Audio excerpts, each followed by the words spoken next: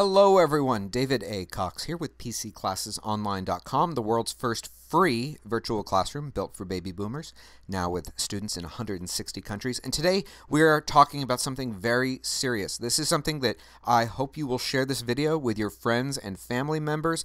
Every single Windows user and every Mac user who runs Windows on their Mac needs to see this information and be aware of it. There is a really debilitating virus going around on the internet. In less than a month, it has infected already over 10,000 computers and is going to continue to spread. It is based out of Russia, according to the latest information that's available. It's not confirmed, but from what I have heard, that's where the virus is coming from and it is a virus called CryptoLocker. And it falls into a category of viruses called ransomware, meaning they want your money. That's the goal of this virus. And what's especially horrible about it is that, unlike a normal virus where you remove it and the damage is done, with this, the damage has only begun. So, I'm going to show you everything you need to know today as far as what you can do to protect yourself, what to do if you get it, and just so that you have some basic knowledge about how it works. CryptoLocker is spread primarily through email. It can also be contracted through a website that has become infected. If you do get it, this is the screen you will see. This is a screenshot from someone who did get it. It's a red background. There's a timer that ticks down. And basically, what they tell you is they want, in this version, they say $100. In the latest version, it is now $300. And some people have reported as much as $700. Basically, here's how it works. Once you get this virus, it runs rampant, going throughout your entire computer, and it encrypts all of your data, documents, photos, you name it. So what happens is, even after you've removed the virus, you still can't open any of your stuff. Now, hopefully all of you are backing up your data. If you're not, please, please take our classes. They're free. We teach you how to do all of these things.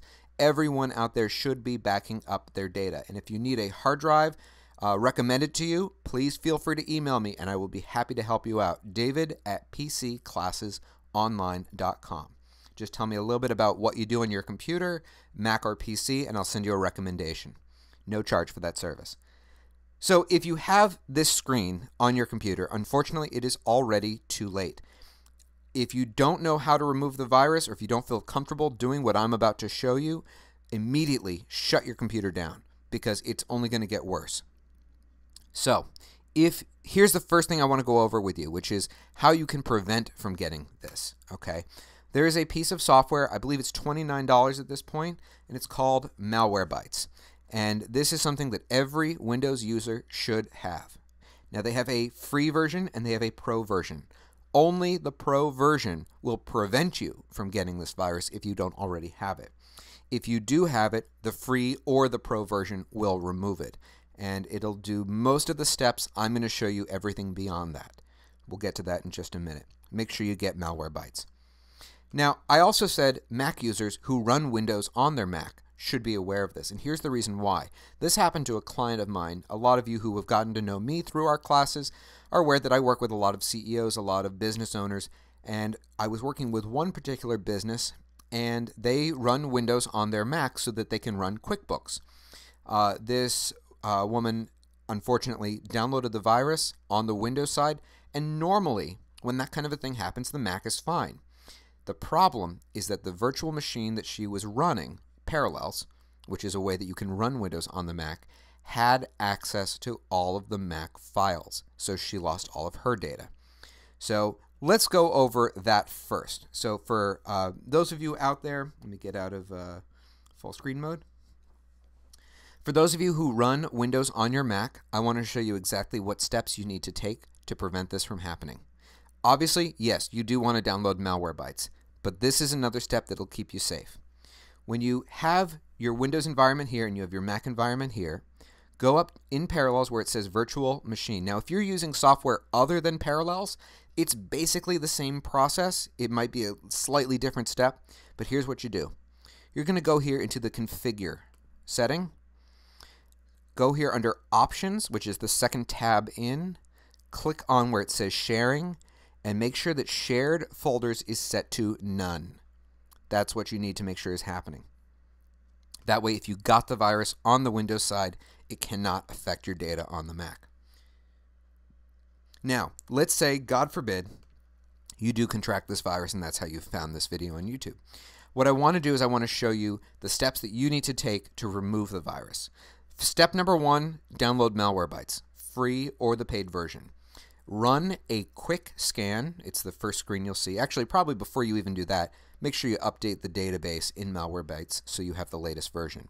Then run a quick scan, and it's going to show a few infected files, and it's going to give you the option to remove them. Once you do that, it's going to tell you to make the computer reboot. So it turns off, turns back on. Here's the final step that you need to do to clear it out. Click on the Start button, regardless of which version of Windows you're running. And here under the little search bar, you're going to type in R E G E D I T. That's Reg Edit. Hit the Enter key.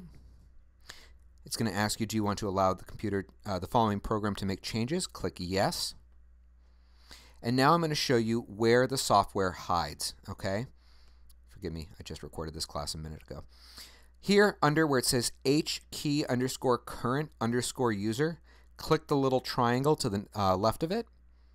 Underneath here, you're going to see a folder called software. Click the triangle next to that. And in here, if you have the virus, you will see something listed called CryptoLocker. You need to take that whole folder and trash it, the whole thing. Again, deleting the virus does not recover your data. That's an important thing to be aware of. So I hope this video goes out on the internet. Please share it with your friends. Hopefully we can prevent a few people from being affected by this.